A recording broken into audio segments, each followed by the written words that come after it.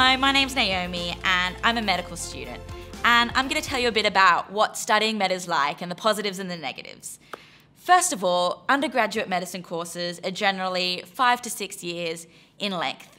These are usually broken up into the preclinical and the clinical years. So the preclinical years are mostly learning biomedical sciences on campus at uni. And the clinical years following that are situated in hospital wards and in GP clinics, learning from patients and from their treating teams.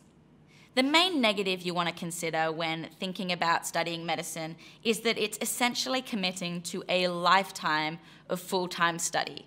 In university, what that means is that you have really long days and the constant study assessment cycle can become a bit of a grind. It can also make keeping a part time job a bit difficult with the contact hours that you're expected to maintain.